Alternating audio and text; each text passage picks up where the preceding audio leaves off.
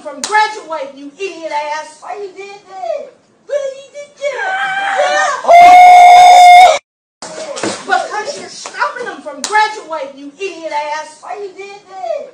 Well, you did that.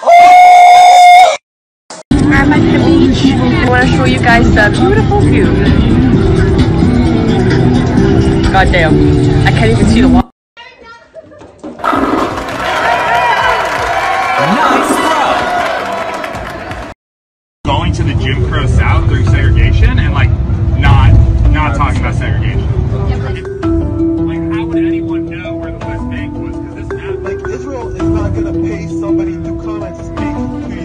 ask, like these maps.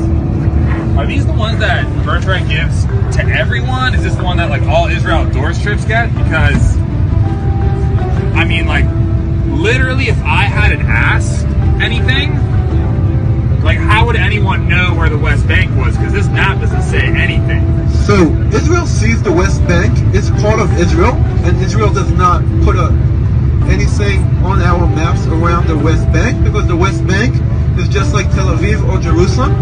I mean, literally, like Like I said, Israel, the fact that Palestine even exists, though. Palestine. If you ask anybody uh, in Israel, But it's not.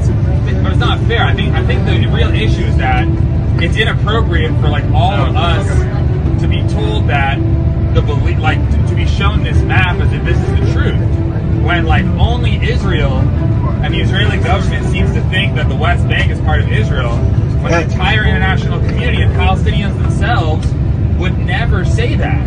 And the reason is because the people who live there can't vote. They're under military occupation. Their water is being controlled by somebody else and they can't get enough access to it. And I mean, their lives are made like a living hell because they can't even like see their families in Jerusalem. They can't get to other cities because they because the roads are constantly controlled. They have to go through all these checkpoints, and they never know when something could be shut down or when their day could just be made a, a living hell by the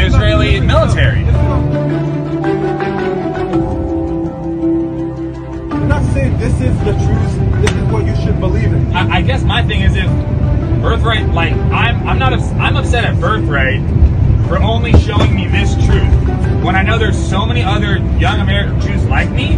When this is the only chance they get to see, to see this place. Israel is showing you what they believe. And also in Israel, it's very divided, and people believe different stuff.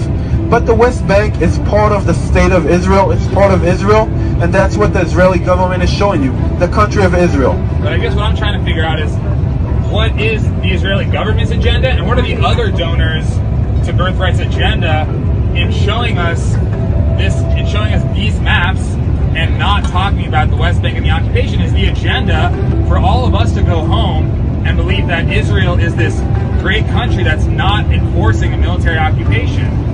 Because that's what like that's the agenda that I'm seeing. And that's what it seems like.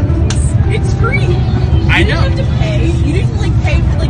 It, there's no such thing as a free lunch. You know, like it's it's is it is it just? But like we are we are receiving one side of the argument because only one side's paying for us to be here. But also, it's like be taking responsibility for your own community. Like this around issues I care about. Not just because me myself am not racist person. I feel responsible for looking out for other white people to not be racist. The same way I want this trip to be good for other Jews.